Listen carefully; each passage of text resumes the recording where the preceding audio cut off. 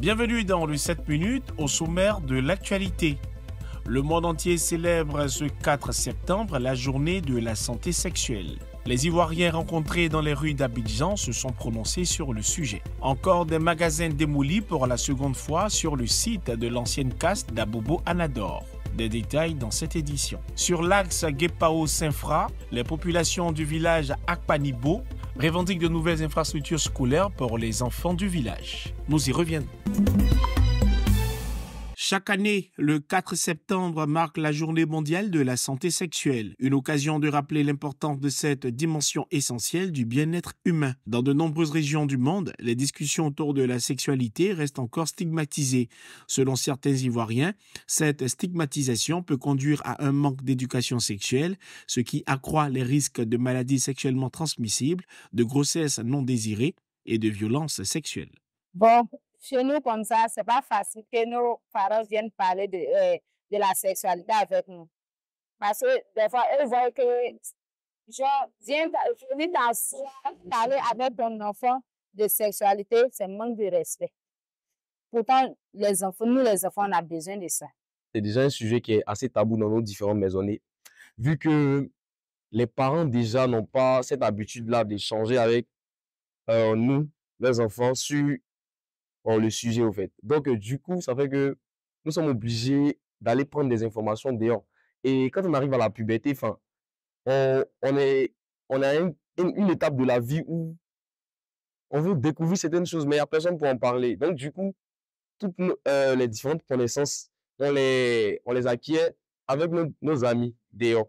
Donc, du coup, on, peut parler d'auto-éducation, c'est-à-dire, on, on, voit maintenant plusieurs jeunes qui s'éduquent qui dehors on voit les phénomènes des résidences, tout ça. Parce que déjà à la maison, il n'y a pas tellement cette facilité-là d'échange. Relations positives, c'est autour de ce thème que se déroule l'édition 2024 de la santé sexuelle. Initiée par l'Association mondiale pour la santé sexuelle en 2010, cette journée vise à sensibiliser et à promouvoir un dialogue ouvert sur la santé sexuelle, un sujet souvent entouré de tabous. Du nouveau dans l'affaire de la casse d'Abobo Anador. Après le passage des machines le 19 août dernier, les bruits de ces engins ont encore retenti le mardi 3 septembre 2024 dans le cadre d'une opération de ratissage. En plus des magasins des ferrailleurs, certains lieux de commerce ont été démolis. Une situation qui favorise le mécontentement des impactés. Moi-même, je suis ça, je ne sais pas comment on va faire. Je a des gars on ne pas mourir comme ça. Voilà, c'est moi je peux dire à gouvernement. Voilà, trouver une solution pour les gens. Pas en tout ça va pas. C'est la rentrée. On va pas les enfants. Le huitième adjoint maire de la commune d'Abobo, responsable de ces opérations, montre toujours sa détermination d'en finir avec ce sujet une bonne fois pour toutes. Et la mairie d'Abobo travaille pour des populations. Donc, rien ne pourra faire rééquilibrer la mairie d'Abobo. C'est pour cela que l'opération, nous avons l'achevé. Nous avons l'achevé ça va nous prendre certainement du temps que ça va nous prendre, mais nous avons achevé l'opération. Selon la mairie, ces espaces de commerce et lieux de prière ont été rasés en vue d'assainir la commune d'Aboubou. L'année scolaire 2024-2025 est marquée par une série de décisions importantes annoncées par la ministre de l'Éducation nationale et de l'alphabétisation, Maria Toukone. Parmi les réformes les plus significatives figure la suppression des cours du mercredi, une mesure saluée par l'ensemble de la communauté éducative. pour moi, hein, c'est une bonne chose. Ça va permettre aux enseignants de pouvoir aussi avoir un jour dans la semaine. Vous voyez, on fait lundi, mardi, repos, ils corrigent le cahier pour ceux qui sont primaires. S'ils sont trop surchargés, ils peuvent craquer. Donc, euh, il faut leur donner un temps de repos, un temps d'amusement aussi. Ça leur permet de se remettre pour le lendemain. C'est vrai, on fait papier, mais la mémoire, la tête a besoin de se reposer un peu.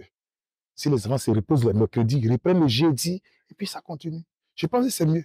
L'année scolaire 2024-2025 s'annonce comme une période de réforme majeure pour le système éducatif ivoirien avec la suppression des cours du mercredi. La rentrée des classes est prévue pour le lundi 9 septembre 2024. Le manque d'infrastructures de base est une réalité à Akpanibo, localité située sur l'axe Guépao-Saint-Fra. Les populations réclament une école primaire, une pompe hydraulique et de l'électricité. Pour les habitants, de nombreux candidats au CPE ont échoué à cause de cette situation. Le personnel éducatif affecté dans cette localité a le regard tourné vers le gouvernement et principalement vers les autorités de la région du Go. Il faut dire que l'école est vraiment euh, en état primitif comme on était de, de, de, 1900, de 1800. Pour travailler, c'est vraiment des problèmes. Un, les enseignants même n'ont même pas de logement. S'il pleut là, les, les, élèves ne sont pas enseignés. Comment faire? Pour avoir un, un, un petit logement Tant que après les cours, le même peut se reposer. Parce qu'un un, un, un, enseignant se repose là. Là, vraiment, il a vraiment le temps de bien enseigner. Mais je n'ai pas content. Qu'est-ce que tu peux, tu peux faire? Dit, Depuis moi, je suis là, je suis le directeur depuis 4 ans. Mais je suis venu chez ça, ça fait au moins 6 ans. Mais on dit toujours aux parents, fais les, fais les logements de, de, de, de, de l'enseignant. Personne. Personne. Donc ça fait que les enseignants, quand ils viennent, ils veulent l'état de l'école là, ils retournent. Après avoir visité une école de fortune construite dans le village, un cadre de la région du Go a promis transmettre ce qu'il a vu et entendu au conseil régional en vue de trouver des solutions. Il